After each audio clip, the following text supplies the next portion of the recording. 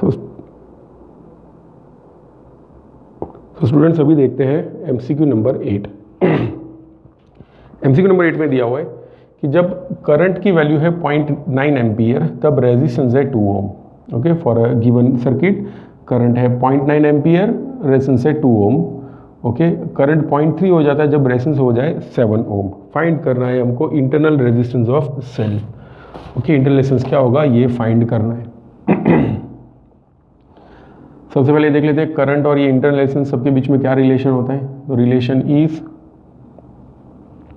याद रखना we have v is equal to E minus I R और we can write E is equal to V plus I R या फिर ऐसा लिख सकते हैं E is equal to I R plus I R because V is equal to I into R होता है। So so, ये है ई एम एफ़ का इक्वेशन अब देखो यहाँ पे बैटरी को चेंज नहीं कर रहे ठीक है? It is given that we are not changing the battery तो अगर बैटरी को चेंज नहीं कर रहे तो एफ़ वही का वही रहेगा. So I am putting this two values I one and R one तो ऐसा कुछ होगा E is equal to I one R one plus I one into small R वैसे ही सेकेंड केस के लिए लिख सकते हैं E is equal to I two R two plus I two into small R हमको स्मॉल आर फाइंड करना याद रखना. ईएमएफ जो है, उसको इक्वेट कर देते हैं। यानी ये ईएमएफ है, ये भी ईएमएफ है तो ये दोनों इक्वेशन सेम हो जाएँगे। तो we can write there for I one R one plus I one R is equal to I two R two plus I two R ठीक है? It will be I two R ठीक है? सो ये बोल सकते हैं। कि अगर ये इक्वेशन को उस तरफ़ ले जाते हैं we can write I one R one minus I two R two is equal to इसको इस तरफ़ ले आए और R को कॉमन निकाल दे will get R into bracket I two minus I one ठीक है? So we can write small R की वैल्यू हो जाएगी I one R one minus I two R two by I two minus I one okay अब देखो सब कुछ दिया हुआ है। I one R one I two R two I two I one भी पता है। ओके सो ये सारी वैल्यूज़ रख दोगे then we are getting the answer to be point five ohm okay यहाँ पे आंसर मिल जाएगा। Small R is equal to point five ohm okay बाकी अगर ऐसा ही टाइप के अगर क्वेश्चन दूसरा कोई आता है तो you can also use this same formula so अब देखते हैं एमसीक्यू नंबर नाइन ये दिया हुआ है रेजिस्टिव वायर का लेंथ हम लोग अगर 100 परसेंट इंक्रीज कर दे, ठीक है? If you stretch the wire by 100 percent तो उसका रेजिस्टेंस परसेंटेज में कितना चेंज होगा, ये हमको फाइंड करना है, ठीक है? सो मैंने पहले भी आपको बताया हुआ है that resistance is directly proportional to L square okay कैसे हुआ? R is equal to rho L by A होता है। इसको लेंथ के साथ मल्टीप्लाई करके डिवाइड कर दो value will not change will get R is equal to rho L square by V volume change होगा नहीं, डेंसिटी भी चेंज नहीं होगी स्ट्रेच करने से तो we can write R is proportional to L square ठीक है? ये वाला फॉर्मूला याद रखना। और एक बात याद रखनी है आपको, अगर चेंज बहुत ही छोटा हो, ठीक है for very small change ten percent से कम, okay? Less than ten percent okay? अगर ये जो लेंथ है, अगर टेन परसेंट से कम चेंज हो रही है तो डी आर बाई आर का वैल्यू डायरेक्ट हो जाएगा two times D L by L अगर ये more than hundred sorry more than ten percent हो तो डेल्टा आर बाय आर का फॉर्मूला होता है delta L by L two plus delta L by L तो यहाँ पे देखो कितना परसेंटेज चेंज हो रहा है। The percentage change is hundred percent तो हंड्रेड परसेंट ऑब्वियसली यहाँ पे ये वाला फॉर्मूला यूज़ करना पड़ेगा। Will get delta R by R will be delta L by L कितना it is hundred percent I can actual मैं यहाँ पे हंड्रेड लिख देता हूँ। टू प्लस, यहाँ पे डेल्टा एल बाई की वैल्यू लिखनी पड़ेगी, नॉट इन परसेंटेज। देखो, अगर मैं, या आप डायरेक्ट भी लिख सकते हैं, या हंड्रेड परसेंटेज है तो you can at hundred by hundred होगा। ये कट ओके हो जाएगा one one plus two three three hundred percent will be our answer ठीक है? Let's see MCQ number ten MCQ number ten में दिया हुआ है magnetic field of solenoid okay देखो, यहाँ पे ऐसा कुछ है। एक सोलिनॉइड है, जिसकी लेंथ है एल उसके अंदर एन लेयर्स है there are N turns in each layer diameter of solenoid is D and it carries a current I the magnetic field at the centre of solenoid देखो solenoid के centre पे जो magnetic field होता है, उसकी formula याद रखना। जैसे ये सोलेनॉइड है ओके सोलेनॉइड के सेंट्रल रीजन में जो मैग्नेटिक फ़ील्ड होता है क्लास में भी मैंने बताया आप लोगों को इट इज़ मुन्नी क्या याद रखना है?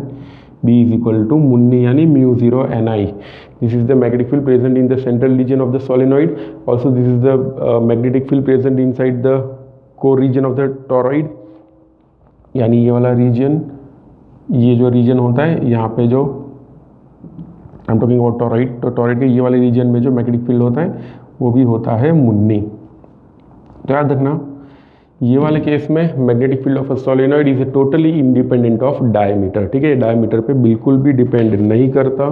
So if you see the option option C जो है it is correct okay because ये इक्वेशन में कहीं भी डी नहीं आ रहा।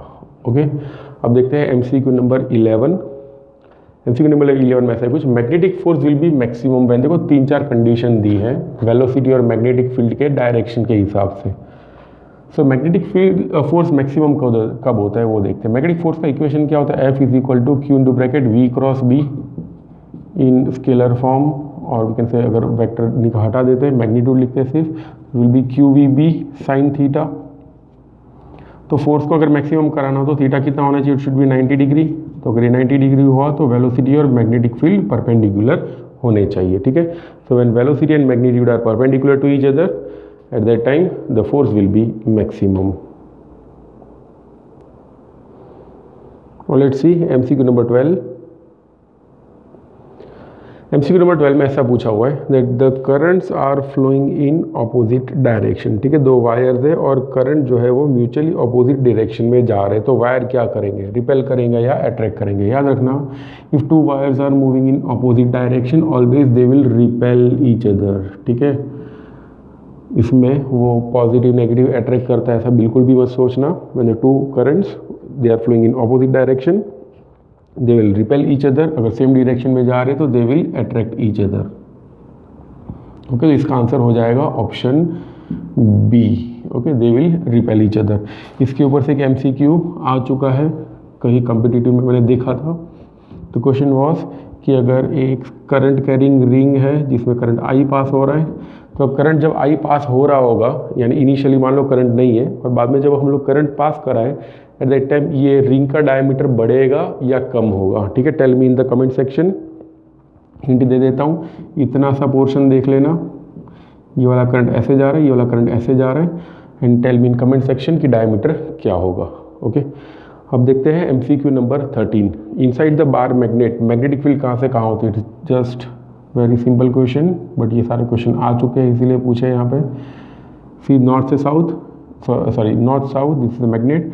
Magnetic field line जो बाहर की तरफ़ होती है, it is always from north to south. ठीक है this are the magnetic field lines जो बाहर होती है, बट पूछा हुआ है अंदर, ठीक है इनसाइड तो इनसाइड कहाँ से कहाँ होती है? It is always from south to north तो इसका आंसर हो जाएगा answer option is D okay उसके बाद देखते हैं डायमैग्नेटिक मटेरियल कहाँ जाता है, ठीक है?